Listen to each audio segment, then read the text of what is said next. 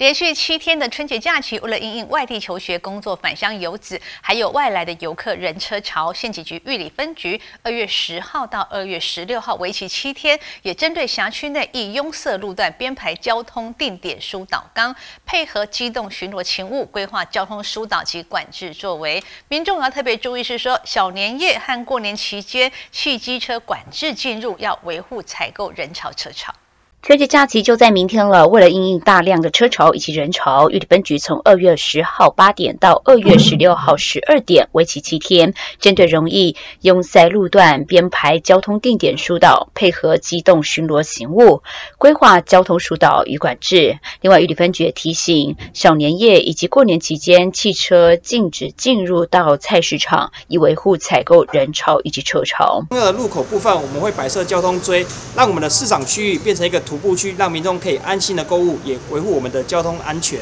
另外，布里这边今年特别在竹田村义民庙前路口、东里村福安街五岔路口设置三个触控按钮；竹田村元和三路口、新兴村学校园路口、东里村庆光路口号志灯，年节期间改为闪光黄灯，希望车辆通行顺畅，村民进出顺利平安。那分别在东里村的福安街以及竹田村的义民庙路口。哦，这两处在民众要转出干道的时候，请触控号字按下，那相信就可以很快的可以通过这个路口。分局长表示，为了疏解年节期间台九线南北向大量车潮，启动应变措施，到时候造成乡亲以及其他用路人的不便。敬请原谅，在此也呼吁路人行经路段时，应该要放慢行车速度，以维护用路人的安全，减少交通事故的发生。记者高双双玉正采访报道。